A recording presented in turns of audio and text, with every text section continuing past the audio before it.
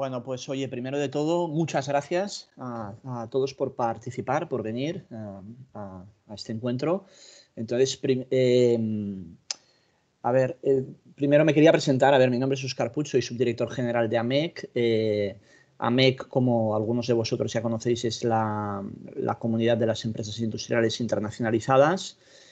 Y bueno, esta sesión es una sesión eh, organizada por AMEC y IQS en la que la temática que vamos a tratar básicamente va a ser la internacionalización de la, startup industrial. ¿eh? El objetivo de la jornada, fundamentalmente, es debatir y mostrar por qué y cómo una startup debe internacionalizarse y analizar cómo lo han hecho otras startups y qué beneficio han obtenido eh, de esta internacionalización.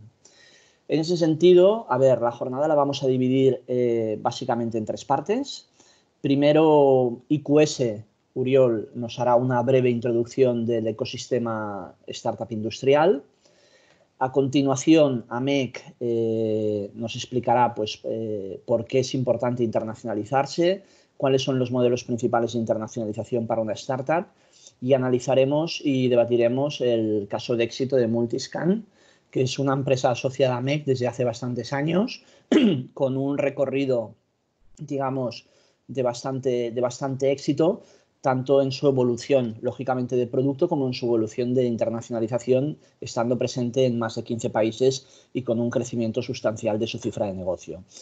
Y para acabar, cerraremos la sesión hablando de la importancia de, las startups para el futuro de la industria, ¿no? Es decir, cuán importante es el, ecosistema de startups para lo que sería la, la, industria entendida desde el punto de vista más tradicional, ¿vale? Esta jornada, a ver, está coorganizada por, el IQS. Eh, el IQS, bueno, es un centro, como sabéis, de, emprendimiento el más importante que hay en España, un centro de, referencia importantísimo. Y de hecho es la primera y más importante aceleradora de startups del país. Y, luego por otro lado, bueno, por, por, nosotros, por AMEC, que como os he explicado, pues somos la Asociación de las Empresas Industriales Internacionalizadas y bueno, sin más dilación, bueno, quería agradecer a todos los, primero, como os he dicho, a todos los participantes, segundo, eh, a las personas bueno, que, van a, que van a tratar en el, evento, en este caso eh, Álvaro, eh, Alejandro, Marc y luego sobre todo a los realizadores, Eva, muchas gracias.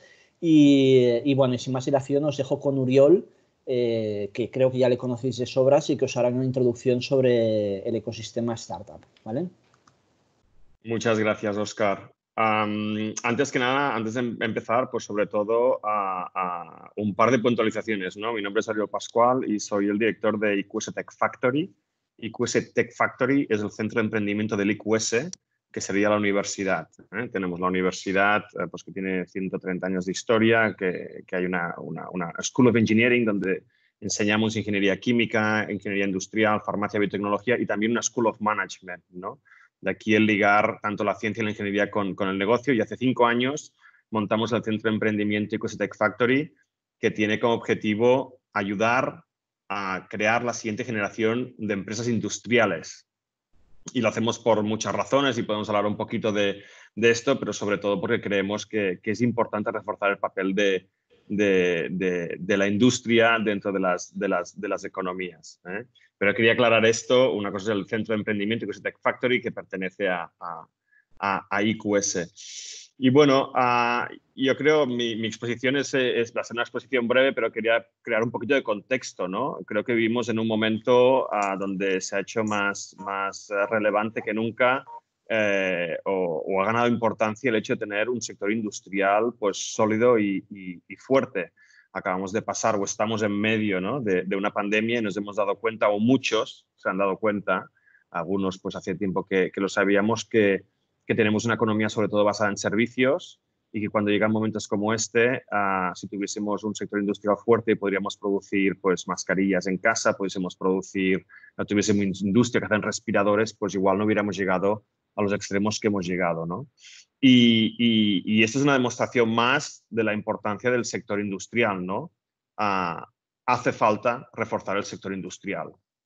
Ah, a día de hoy dependemos mucho como país, dependemos mucho de, terceros. Son otros los que innovan, generalmente son otros los que manufacturan, ah, y nosotros dependemos de ellos y, justo en esta, en esta pandemia pues nos hemos dado cuenta de, que es así y cuando tenemos que ir a comprar a, los mercados internacionales pues competimos con, muchos otros y, no siempre salimos eh, bien parados, ¿no?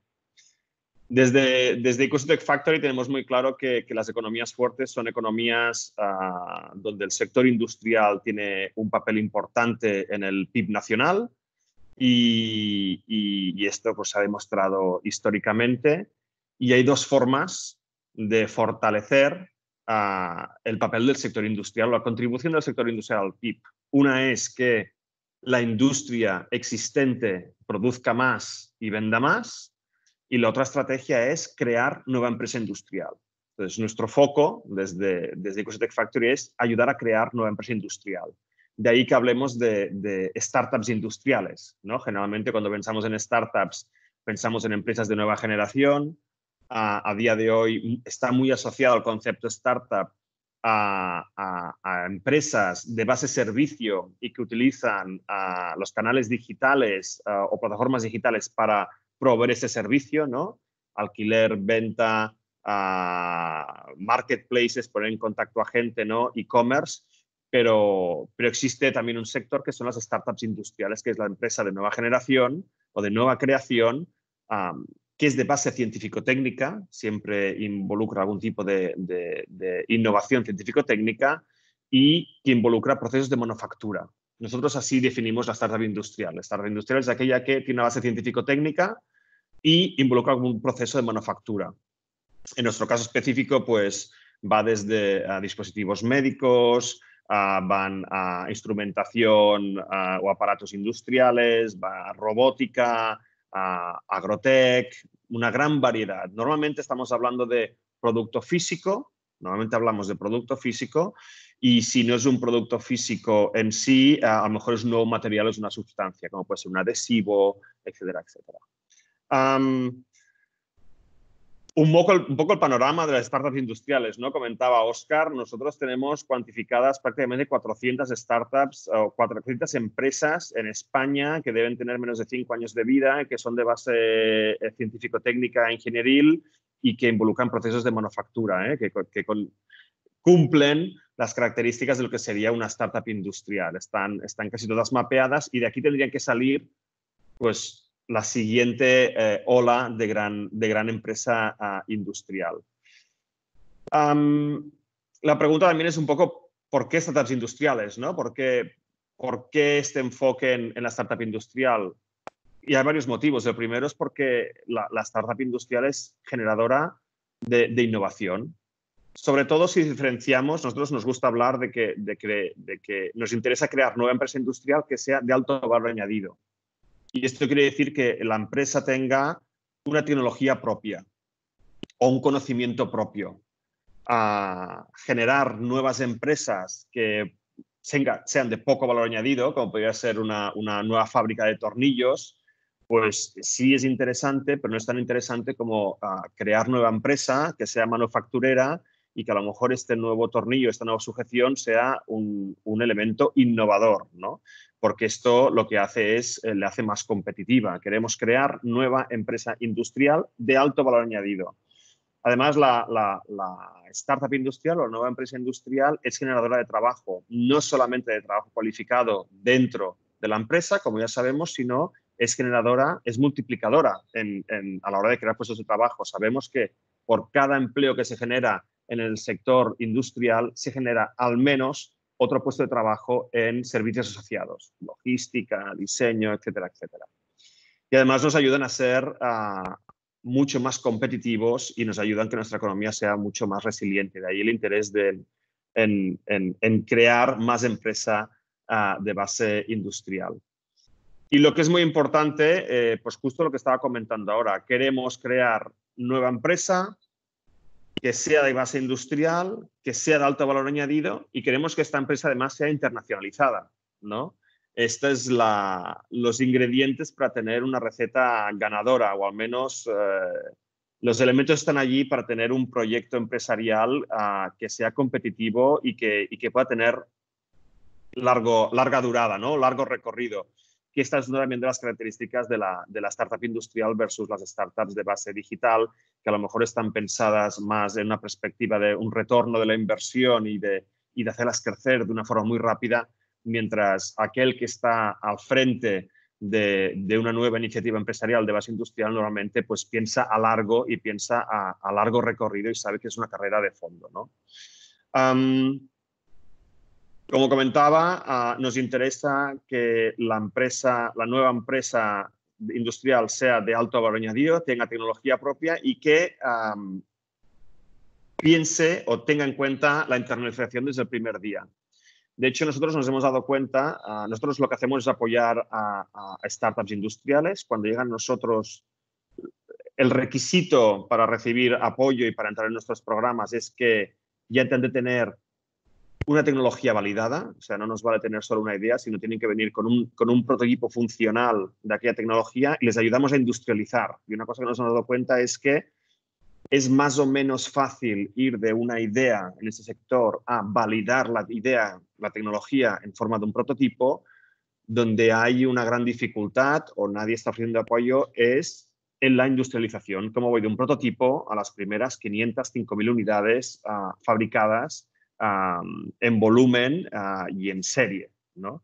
Y esto especialmente lo que estamos haciendo nosotros. Y esto, eh, uno de los, de los problemas que hemos detectado es que las startups, la gente que empieza proyectos de estas características normalmente es gente con un perfil técnico. Uh, la obsesión en las primeras fases siempre es en validar la tecnología y enseñar que aquello es posible.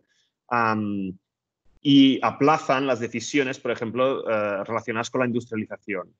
Cuando si hubieran tenido en cuenta la industrialización desde el principio, pues seguramente se ahorrarían uh, mucho tiempo de desarrollo y, y, y, ahorrarían recursos. ¿no? Y lo mismo pasa con la internacionalización. ¿no? Y yo creo que es uno de estos elementos que acaba siendo un add-on, ¿no? Al cabo de muchas fases, al cabo de, de, de, de muchos meses, si no años de desarrollo, uh, y normalmente no pasa de una forma proactiva, sino que pasa de una forma reactiva, ¿no? Uh, la, la, empresa industrial tiene un producto, lo industrializa, lo consigue poner en el mercado, piensa generalmente en el mercado nacional, cuando a lo mejor ya tendría que haber estado empezando en el mercado internacional, ¿no? Desde el primer momento, Hoy en día el mercado es global, no podemos pensar que nuestro, nuestro mercado es, es, es solo local o, o, nacional, nuestro mercado es internacional desde el primer día, um, pero normalmente no es el caso. ¿no? Normalmente de forma reactiva, no proactiva, um, se dan cuenta pues, que alguien pide el producto, que hay interés en un tercer mercado y, y empiezan a jugar con la internalización de una forma no estructurada y de forma reactiva. ¿no? lo que queremos es eh, pues incorporar a la internalización y entender la importancia de tener una estrategia de internalización desde, desde el principio, desde de las primeras uh, fases, para, para, ser proactivos, no reactivos, y así conseguir pues, eh, nuestros objetivos mucho más uh, rápido y conseguir hacer crecer la empresa mucho, mucho más rápido. En ese sentido, necesitamos partners, ¿no? Igual que en los procesos de industrialización, pues estamos nosotros eh, como centro de emprendimiento que estamos, somos la línea de choque, ¿no? De, de, de, la startup que tiene que manufacturar uh, y seguramente somos los primeros que les explica el proceso, que les ponemos en contacto con la fábrica, con los proveedores, uh, que les explicamos la complejidad y les ayudamos a estructurar este proceso. Uh, y de hecho, lo que nos dicen normalmente las startups cuando pasan por nuestro programa es esto, esto nos ha ayudado a perder el miedo a la fábrica, ¿no? Porque veían la fábrica como aquella caja negra. Pues, pues lo mismo pasa con la industrialización, ¿no? Y yo creo que, que, que, hay que hacer esto de la mano de, la, de, los que saben, de los que tienen experiencia. En ese sentido, pues estamos muy contentos desde Tech Factory, pues eh, colaborar desde hace ya mucho tiempo y ahora de una forma mucho más uh, estructurada, y de aquí poco pues seguramente habrá noticias, uh, con AMEC, um, porque si hay alguien que, que es un, quien son los profesionales de la industrialización, son AMEC y quien puede ayudar a, a, a, estructurar una estrategia de industrialización desde el principio es AMEC, ¿no? No tanto la asociación, no, no solamente quiere decir la asociación uh, por sí misma, eh, sino también eh, gracias a todos sus asociados, ¿no? Pues que tienen una experiencia de, muchos años y, saben lo que funciona y lo que no funciona, ¿no? Creo, no me quiero extender mucho más, ¿no? Creo que vivimos un momento muy interesante ah, para los proyectos y para las empresas de carácter industrial. creo que es especialmente interesante, pues porque, como comentaba, una parte de la sociedad y una parte de, los grandes pensadores y de, y de, la administración está clamando a la importancia de invertir en una estrategia industrial. Creo que se abre una ventana de oportunidad única ah, para hacer crecer el sector industrial.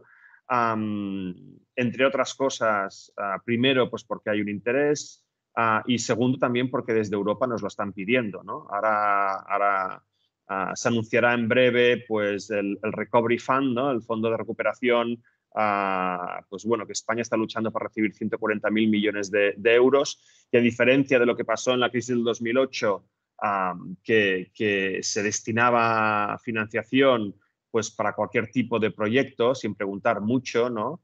ahora no, ahora esta financiación va ligada a, proyectos concretos o estrategias concretas que sirvan para reactivar y transformar la economía. Y hay tres pilares básicos, ¿no? Ya esto sí que lo sabemos, anunciado, ¿no? Un pilar sean a, economía y proyectos pues de, alrededor de la digitalización, ¿no? y eso tiene muchas, muchas consecuencias, muchas capas. El segundo pilar es todo aquello que tenga que ver con energías renovables y, la circularidad, ¿no? A, medio ambiente, sostenibilidad. Pues que el tercer pilar está destinado a la creación de empresa industrial de alto valor añadido. ¿no? Entonces yo creo que aquí se, abre una ventana de oportunidad muy grande pues, para reforzar no solamente el sector industrial que tenemos, ah, el existente, sino en, reforzar o crear palancas para crear nueva empresa industrial, o sea, la empresa industrial del mañana, ¿no? los, los, los Titan, los Grifols, los uh, Fluidras, los Girbaus ah, de, mañana.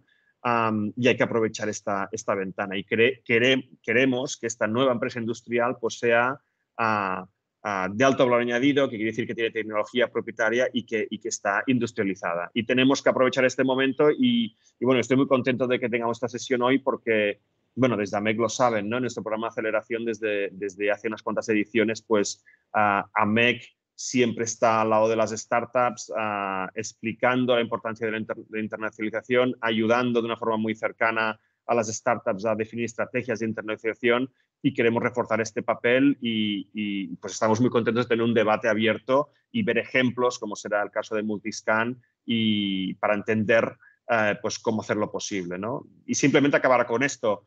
Si los que estáis, eh, algunos de vosotros estáis delante, sois, sois startups, sois empresas de nueva creación, sois empresas de nueva creación de base industrial, ah, por favor, incorporar ah, estrategias de internalización desde el primer día porque esto, de hecho, os hará mucho más competitivos y os hará crecer de forma mucho más rápida. Muchas gracias, esto, esto es todo. Uriol, muchas gracias. Eh, bueno, básico escuchar tu, tu, charla porque si no es prácticamente imposible aterrizar la industrialización a la innovación industrial y sobre todo mm, agradecerte la, la, importancia que le das a la innovación, a las oportunidades que se están generando ahora y darte la enhorabuena por cómo IQS Tech Factory ha tenido eh, el, papel y nos ha hecho saber lo que son las startups industriales que probablemente hace unos años eh, prácticamente muchos de nosotros ni lo conocíamos. ¿no? Enhorabuena y sobre todo mm, encantados de desde AMEC poder eh, colaborar y organizar esta jornada juntamente con IQS Tech Factory, estas y las que vendrán.